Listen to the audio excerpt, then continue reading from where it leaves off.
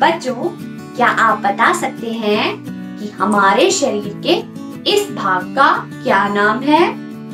यह है हमारा हाथ। और इन्हें कहते हैं उंगलियाँ। मेरे एक हाथ में कितनी उंगलियाँ हैं? आइए गिन कर देखें। एक, दो, तीन, चार, पाँच। मेरे एक हाथ में पाँच उंगलियाँ हैं। आज हम सीखेंगे अंक पाँच। इसे कहते हैं अंक पाँच। आइए देखते हैं कि पाँच कैसे लिखते हैं।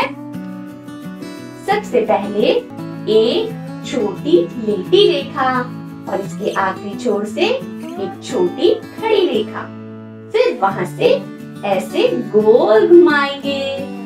ये देखिए बच्चों, यह बन गया अंक पाँच। यह है अंक पाँच। आइए गिनना सीखें। अरे वाह, यहाँ तो कुछ खिलौने हैं। आइए गिनते हैं। एक, दो, तीन, चार, पाँच।